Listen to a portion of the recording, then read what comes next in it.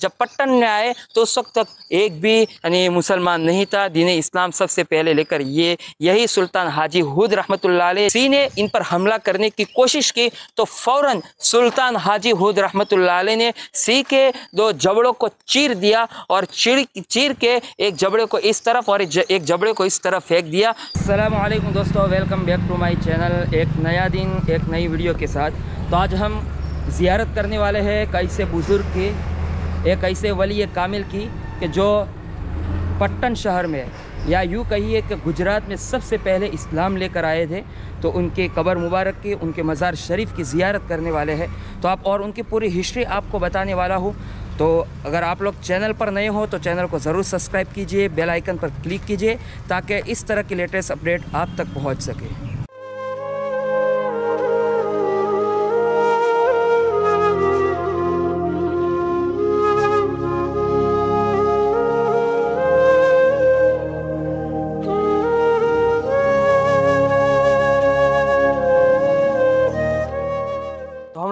पहुँच चुके हैं सुल्तान हाजी हुद रहमतुल्लाह के मज़ार शरीफ के पास।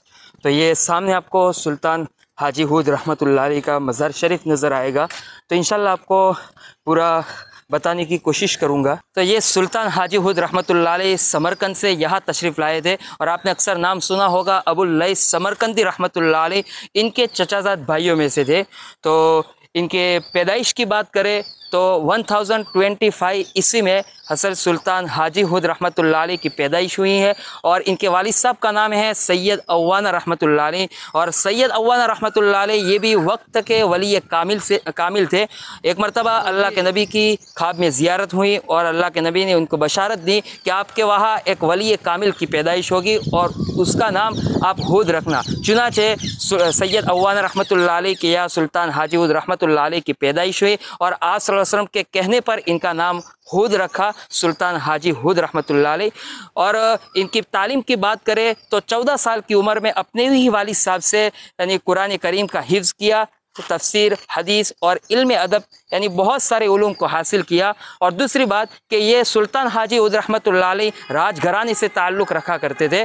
तो जब चौदह साल के हुए तो अपने वालिद साहब की, यानी जगह पर, उनकी राजगद्दी पर विराजमान हुए और विराजमान होने के बाद भी अपना ज़्यादातर वक्त अल्लाह की इबादत में, यानी गुजारा करते थे। एक मरतबा अल्लाह के नबी की ख्वाब में ज़ियारत हुई और कहा कि कब तक तुम ज़ाहिरी हुकूमत अपनाओगे? अपनी ज़ाहिरी हुकूमत को छोड़ो और बातिनी हुकूमत अपनाओ। चुनाचे उन्होंने 28 साल की उम्र में अपने ज़ाहिरी हुकूमत को छोड़ा और अपने वज़ीर के साथ और इस तरह सीरिया के बहुत से शहजादों के साथ मक्का मुआज़मा तशरीफ़ ले गए वहाँ पर हज की अदायगी की वहाँ से मदीना मुनवरा तशरीफ़ लाए और कबर अतहर पर हाज़िरी दी और वहाँ तकरीबन तेईस साल तक यानी वहाँ पर अल्लाह के इबादत और रियाजत में मशगूल रहे। एक मरतबा विजद की हालत में आकर या जद्दीदी का अल्फाज इनके मुँह से निकल गया तो फ़ौर कबर मुबारक से यह आवाज़ आई, या वलदी। क्योंकि ये हज़रत शहीद करबरा यानी रज़ी अल्लाह तहों के ख़ानदान से ताल्लुक़ रखते थे तो या वलदी का लफ्ज़ यानी कबर अतहर से आवाज़ आई और इनको हुक्म दिया कि आप हिंदुस्तान तशरीफ़ ले जाइए। चुनाचे वो वहाँ मदीना मुनवरा से चिश्त आए और चिश्त आकर क्योंकि उस वक्त उस ज़माने में चिश्त सूफियों का एक मरकज़ बना हुआ था। वहाँ पर अपने पीर से अपने बातिन की सफ़ाई करवाई और अपने पीर के हुक्म से यहाँ हिंदुस्तान के गुजरात इलाके में तशरीफ़ लाए और जब गुजरात में आए तो गुजरात के कैपिटल सिटी पट्टन शहर में तशरीफ़ लाए। जब पट्टन में आए तो उस वक्त तक एक भी, यानी मुसलमान नहीं था। दीन इस्लाम सबसे पहले लेकर ये, यही सुल्तान हाजी हुद रहमत जो सबसे पहले दीन इस्लाम लेकर आए। और जब यहाँ पर आए तो एक बड़े मैदान में इन्होंने अपने पूरे काफ़िले के साथ, यानी पड़ाव डाला। उस वक्त लोग अपनी सरहदों की जो हिफाजत किया करते थे, उस वक्त जो हुकूमत थी, राजा करण घेला की हुकूमत थी, इस वक्त पट्टन शहर में तो वो अपने सरहदों की हिफाजत, यहाँ पर एक सरहद थी तो वो शेरों से यानी कई सैनिक यानी फ़ौजी कम हुआ करते थे तो शेरों से इनकी हिफाजत करते थे तो फाड़ खाने वाले एक सीख को इन्होंने छोड़ा। तो उस वक्त असर की इन्होंने नमाज़ अदा की। जब सामने से इन्होंने सी को देखा कि वो सामने से सी आ रहा है तो फ़ौर इनको कशफ हुआ और कहा अपने मुरीदों से कि ये सी मुझ पर ही हमला करेगा और उसको और वो मारा जाएगा।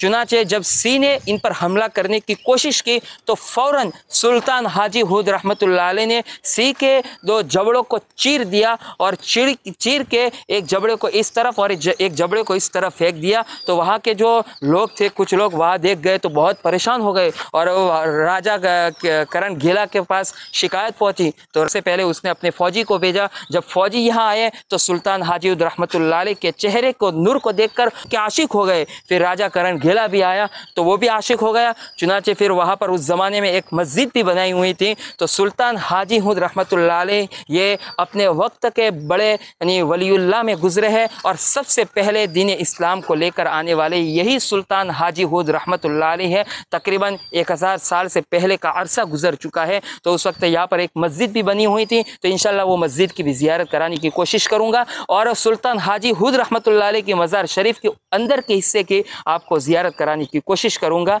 आपको सामने सुल्तान हाजी हुद रहमत का मकबरा नज़र आएगा। तो चलिए अंदर से आपको सुल्तान हाजी हुद रहमत की कबर मुबारक की ज़ियारत कराने की कोशिश करूँगा। यहाँ पर आपको बहुत सारी कबर मुबारक नज़र आएगी और बहुत पुरानी कब्र है। तो ये सुल्तान हाजी हुद रहमत के ख़ानदान वालों की कब्र है। और हमारे जो पढ़ने के साथी है, मौलाना असदुल्ला साहब तो वो भी सुल्तान हाजी हुद रहमत के ख़ानदान से ताल्लुक़ रखते हैं। और इसी तरह यहाँ के जो मेन क्रश है, साजिद भाई, वो भी ये सुल्तान हाजी हुद रहमत के ख़ानदान से ताल्लुक़ रखते हैं। और उनके पास पूरा शजरा है, सुल्तान हाजी हुद रहमत तक का।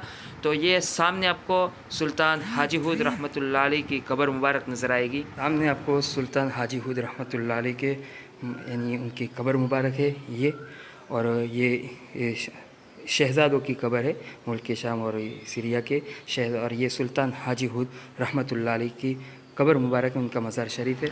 और ये सुल्तान हाजी हुद रहमत के मज़ार के पास में आपको जो कब्रस्तान नज़र आ रहा है, इस तरफ़ के हिस्से में और उस तरफ़ के हिस्से में तो ये सुल्तान हाजी हुद रहमत के ख़ानदान वालों की कब्र मुबारक है।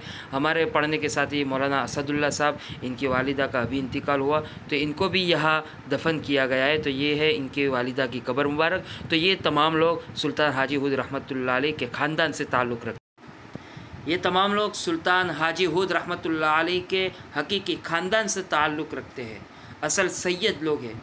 मैं ये बात इसलिए कह रहा हूँ कि यहाँ के जो मेन ट्रस्ट है, साजिद भाई, इनके पास, इनके वालिद साहब से लेकर सुल, हज़रत सुल्तान हाजी हुद रहमत तक का पूरा शजरा महफूज है।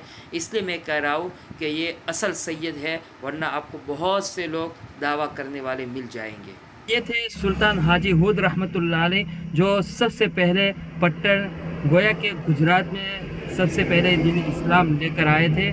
चलिए यहाँ पर अपनी वीडियो का एंड करते हैं। वीडियो पसंद आई हो तो वीडियो को लाइक एंड शेयर कीजिए और जितना हो सके अपने फ्रेंड सर्कल में इसको शेयर कीजिए। तो चलिए इंशाल्लाह अपने नेक्स्ट वीडियो में दूसरे टॉपिक के साथ मिलते हैं। तब तक के लिए असलकुम